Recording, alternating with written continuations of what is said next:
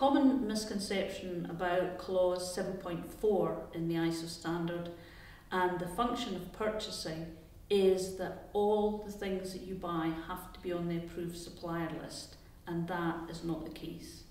Only those items which contribute to your product and your service have to be on the list. And the most important thing about that is that you determine the criteria that you use to, to buy these things. So whether it's cost or reliability or availability or a combination of these things, those will be the criteria against which you select a supplier to go on the list. And having done that, those are the criteria against which you would evaluate that supplier.